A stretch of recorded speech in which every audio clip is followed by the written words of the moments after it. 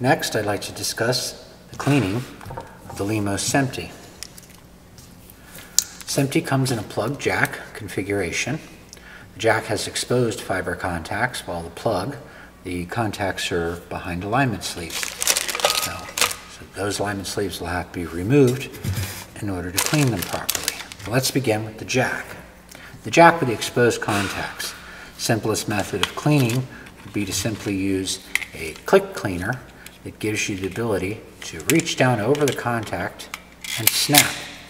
A click cleaner is basically a string cleaner. It pulls string right over the tip of the contact, much like dental floss.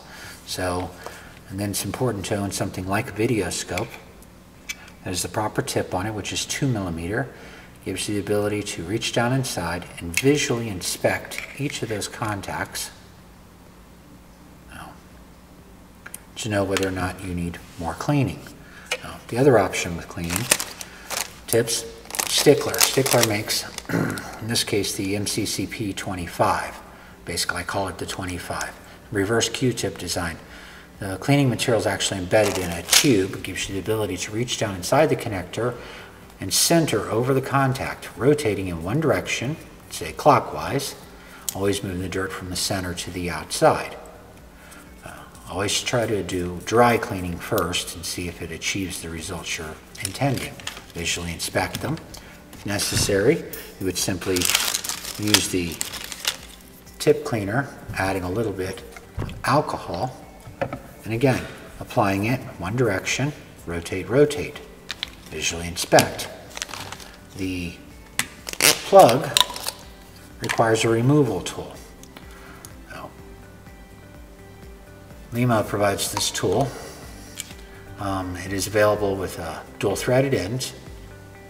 They simply reach inside the connector and thread down over the alignment sleeve and pull.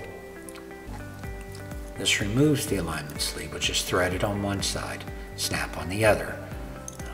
Leave that on the tool till you're ready to reinstall it. Same approach.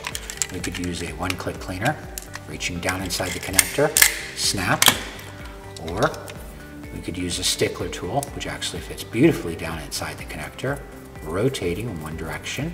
Again, depending upon the, the uh, amount of cleaning it needs, is whether or not you would basically go wet, dry, wet, dry. So always ending with a dry wipe and then a visual inspection with a video scope. And of course you'll require a two millimeter tip. Reapplying the alignment sleeve, thread it on the tool, Reach down inside, press till you hear a snap.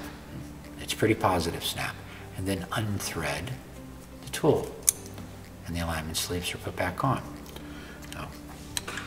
So, basically you got two options here that are wonderful, um, easily accessible, but uh, a couple of specialty tools are necessary in order to do this.